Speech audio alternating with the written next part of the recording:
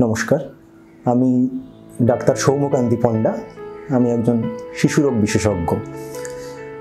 উনত্রিশে জুলাই বিশ্ব ওয়ারেস দিবস।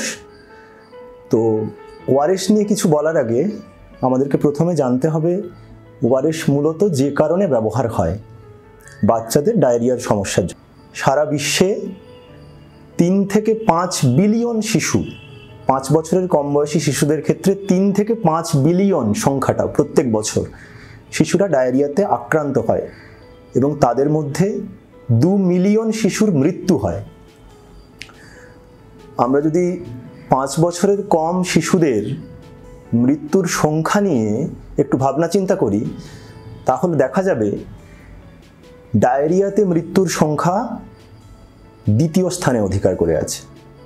মূলত তৃতীয় বিশ্বের অপরিষ্কার জায়গা, যাদের মধ্যে একটু শিক্ষার হার কম, সে সমস্ত জায়গাতেই এই সমস্যাগুলোর পরিমাণটা বেশি। সেই সমস্যাগুলো এখন অনেকখানি কমানো গেছে, তার পেছনে মূল কারিগর কিন্তু ওয়ারেস ওয়ারেস আবিষ্কারের পিছনে একটা দীর্ঘ ইতিহাস থাকলেও উজ্জ্বলতম নামটি যার?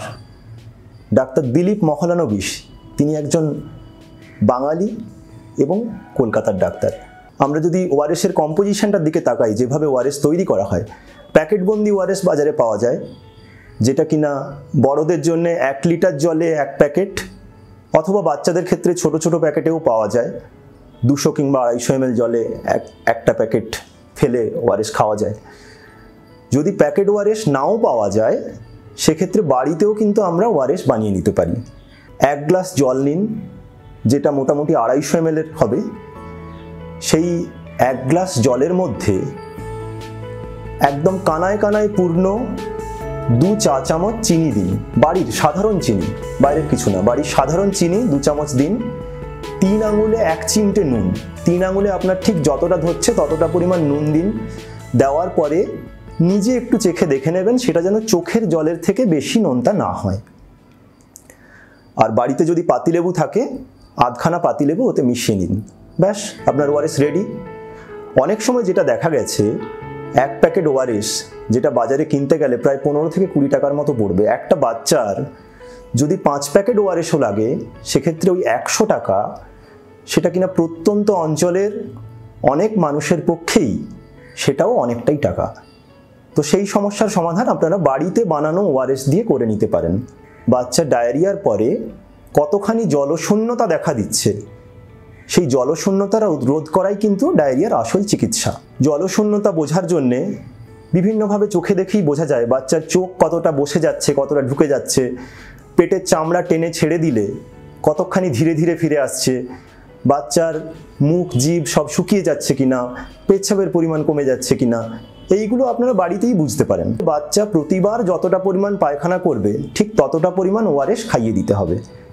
সেটা মোটামুটি প্রতি কেজি ওজনের জন্য পাঁচ থেকে দশ মিলি হিসেবে দেওয়া যায়। ছোট বাচ্চাদের ক্ষেত্রে ধরুন এক বছরের কাছাকাছি বাচ্চা, তাদের ক্ষেত্রে হাফ গ্লাস, একটু বড় বাচ্চাদের জন্য এক গ্লাস, বড়রা এক থেকে দু গ্লাস এই হিসেবে খেতে পারে। পুরোটাই খুবই বিজ্ঞানসম্মত। নির্দিষ্ট কম্পোজিশনে নির্দিষ্ট মাত্রাতেই এই লবণগুলির অনুপাত রাখলে তবে গিয়ে সেটি ওয়ারেস হয়। পছন্দ মতো খানিকটা লবণ মিশিয়ে দিলাম, খানিকটা চিনি মিশিয়ে দিলাম, সেভাবে কিন্তু ওয়ারেস বানানো যায় না। ওয়ারেসকে একটি ওষুধ হিসেবেই দেখতে হবে আমাদের। ওয়ারেস ছাড়াও অন্যান্য আরেকটি গুরুত্বপূর্ণ ওষুধ হচ্ছে জিঙ্ক। ডাব্লিউএইচও এবং ইউনিসেফ দুজনের মতেই ছ মাসের কম বয়সী শিশুদের ক্ষেত্রে দশ মিলিগ্রাম এবং তার বেশি ওজনের বা তার বেশি বয়সী বাচ্চাদের ক্ষেত্রে কুড়ি মিলিগ্রাম হিসেবে দু সপ্তাহ জিঙ্ক সাপ্লিমেন্টেশনের কথা বলা আছে। যদি ধরুন বাচ্চা সবসময় ওআরএস খেতে চাইছে না, তাহলে অনেক সময় জল শূন্যতা রোধ করার জন্যে ডালের ওপরের পাতলা জলটা, টক দইতে একটু নুন মিশিয়ে, ভাতের ফ্যানের সাথে নুন মিশিয়ে ইত্যাদি করেও কিন্তু বাচ্চাকে ভালো রাখা যায়। যদি জল শূন্যতা আমরা রোধ করতে পারি, তাহলে কিছুদিনের মধ্যে বাচ্চা এমনিতেই সুস্থ হয়ে উঠবে। আমাদের দেশে এখনও একটা বড় সড়ো অংশের বাড়িতে বিশুদ্ধ পানীয় জল পাওয়াটা বেশ কষ্টকর। এবং ওআরএসও যখন বানাচ্ছেন, আমরা বলি যেটা ফোটানো জল দিতে পারলে ভালো। যদি ফোটানো জল নাও পাওয়া যায় বা ফুটিয়ে খেতে যদি কোনো সমস্যা হয়, তাহলে বাড়িতে যতখানি বিশুদ্ধ জল পাওয়া যাচ্ছে, সেটা দিয়েও আপনি ওআরএস বানিয়ে খেতে পারেন। আর বাচ্চাদের ডায়েরিয়া কোন জীবাণুর দ্বারা হয়, সেই জিনিসটার দিকে যদি আমরা নজর রাখি, তাহলে দেখব বেশিরভাগটাই কিন্তু ভাইরাস ঘটিত, যার মধ্যে সব থেকে গুরুত্বপূর্ণ রোটা ভাইরাস। যে কারণে সম্প্রতি সরকারি ভ্যাকসিনেশন শিডিউলেও রোটা ভাইরাসের বিরুদ্ধে ভ্যাকসিনেশন দেওয়ার ব্যবস্থা করা হয়েছে। তো বাচ্চাকে সব ধরনের ভ্যাকসিন দিন, পরিষ্কার পরিচ্ছন্নতা বজায় রাখুন।